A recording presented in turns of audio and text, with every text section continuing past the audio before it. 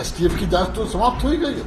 SIT को भंग माना जाए या बंद नहीं अब आगे तो हम उच्च न्यायालय के निर्देश की करें करें पर हमारे हिसाब से हमारा कोई काम अब बचा नहीं है फ़िलहाल। प्रेजेंट कंडीशन में एसटीएफ अभी कब तक कार्रवाई कर सकती है? सुप्रीम कोर्ट ने कहा है ना 24 तारीख को सीबीआई टेक ओवर करेगा संभवतः उन्होंने जजमेंट में कहा है। अभी हमने ऑर्डर देखा नहीं पर शायद मंडे शायद हाँ? एसआईटी का रोल अब हाँ, खत्म हो 20th गया इस मामले में नहीं ट्वेंटी तो हाईकोर्ट को फैसला होना पर सुप्रीम कोर्ट का जैसे सुन रहे थे नेक्स्ट मंडे नेक्स्ट मंडे इसी मंडे तक टेक ओवर करने के लिए। अच्छा फ़िलहाल मंडे तक एसटीएफ अपनी कार्रवाई जारी रखेगी।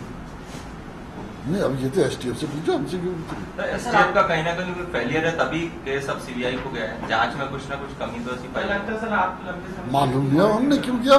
ये तो मॉनिटरिंग आप कर रहे तो है। मॉनिटरिंग आप कर रहे थे। तो मॉनिटरिंग मारते तो हमें क्या मालूम की किस लिए वहाँ ट्रांसफ़र किया? वो तो जो पार्टीज़ ने रिक्वेस्ट करी सुनवाई करके किया सुप्रीम कोर्ट ने।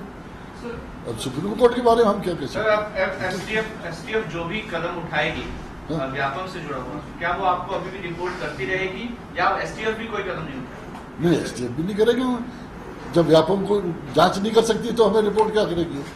सर बीच में जब प्रशांत पांडे से आप दिल्ली जाने वाली थी एसआईटी दिल्ली जाने वाली थी पूछताछ के लिए तो राज्य सरकार कोर्ट चली गई थी हाई कोर्ट। और उन्होंने बोला कि सिर्फ़ आप मॉनिटरिंग करिए हस्तक्षेप मत करिए। तो इसको आप कहाँ तक क्या मानते हैं? निष्पक्षता हो रही थी जो जाँच में? तो आप लोग मॉनिटरिंग इस तरह कर रहे थे।